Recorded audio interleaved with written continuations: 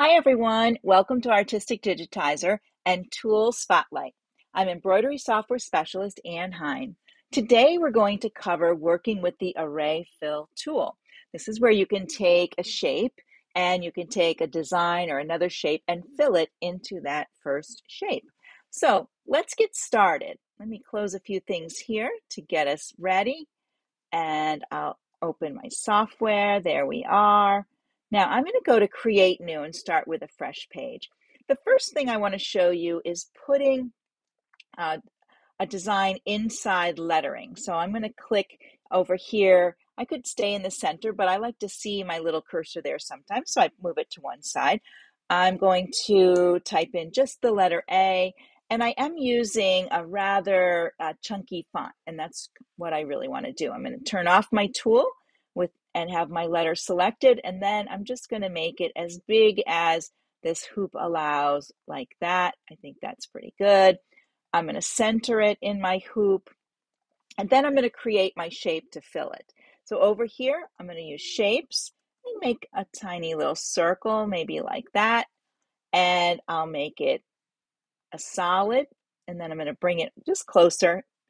And I'll hit shift, select my letter, and in properties under fill, I want to make sure I have fill selected. I'm going to select array.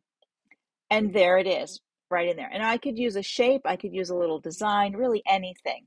I have different ways that they fall into there rectangular or circular, or we'll stay with shape fit. And then I can change the spacing. So I can make the spacing horizontal spacing different and the vertical spacing different. I can change the angle of those rows. So it may look a little more like a mixed up instead of rows of um, dots, more mixed up. I could add an outline um, to this if I wanted to. Go to outline, satin serial, and change this maybe to 4.0 mm. So I have a little bit wider uh, border on there. So there it is that way.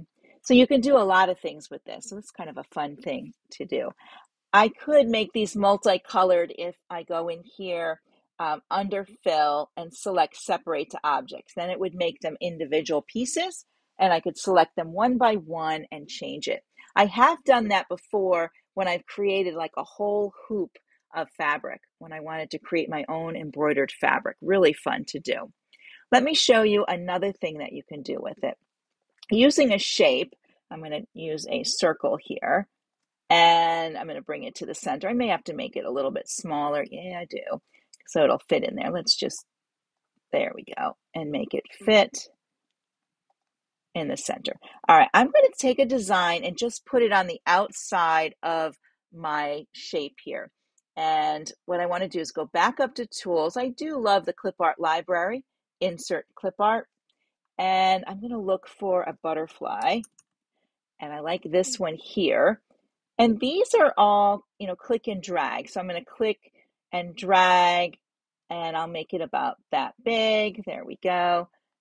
It's selected. I'll select my shape. And this time I'm going to go to the outline. So I'm going to select outline and array. And it puts my butterfly on the outline. I'm going to click off of it and I'm going to delete my fill, I believe. Let's see here. There it is. And I'll delete the one we had. So now I have these nice butterflies like that. Let me bring them more towards the center of my hoop area so you can see what's going on. I am outside my hoop. I'm okay with that. I'm going to go back to properties and select, I'm going to select this by color let's see here. There we go. And in my properties under outline, I have uh, item rotation and spacing. So I can work on which way they're rotating like that. Um, I could change the spacing so they're further apart or closer together. I could put them on the inside or the outside of the line like that, depending on what I need to do. Maybe I want them inside. And then, and they'll adjust the spacing. So let's put them closer together. They'll add them if they need them. Now they're sort of intertwined in there.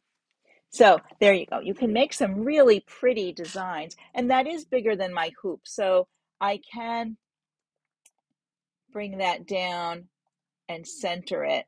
There we go. So I have this pretty design there. This does make a really pretty design going around there. This would be a pretty one to stitch out for the spring. I'm going to show you one more today. So let's go to a new page. Now you can make a shape. I'm just going to make a, a circle here like this again, and I'll center it you can put multiple designs in your hoop as well. So under my tools, clip art library, and you could bring in, if you have little designs that you like, you could bring those in as well.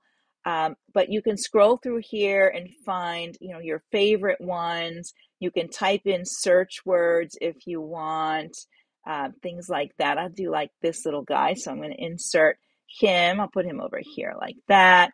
I'm going to go back and get another one. I think I'm going to get three different ones and bring those in so I can show you how to work with multiples in the hoop. So we'll do this little guy too. He's cute.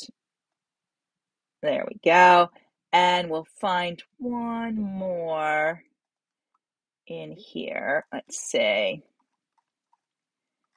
I don't know cake. That would be good. Let's see what we have here. Something, well, we could put just even just a curl. It doesn't really have to be, you know, there we go. So we'll see how that one works. Go back up here. There we go. Let's select those like that. And then I'm going to select my circle and I want them on the inside. So I'm doing fill and array and there they go. I'm in shape fit. I probably need to change my um, horizontal and vertical spacing.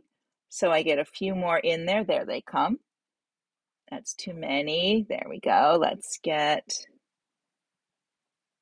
these in there. Let's change my angle. That'll help. And more on the spacing.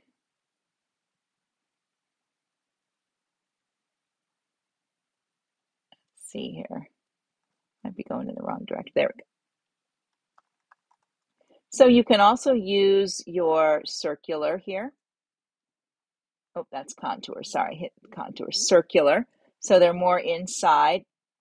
And you can change your step count is how many rows of these there are. And we can put the item rotations in, start angles, things like that. So that will change how many you have in there at one time. Your offset if you want it to be more inside or out outside, let's go this way. There we go. So they're all inside of there. And then when you get done, if you want to, you can separate the objects and so you have individual objects.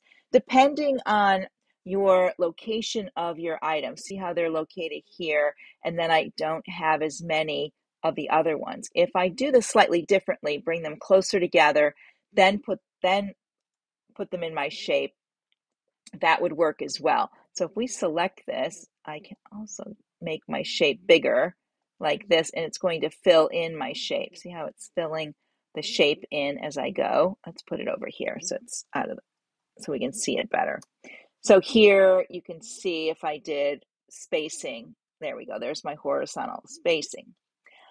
All right, so that gives you three different ways to use the array fill, whether you're using it on an outline or as a fill with a letter or with a shape.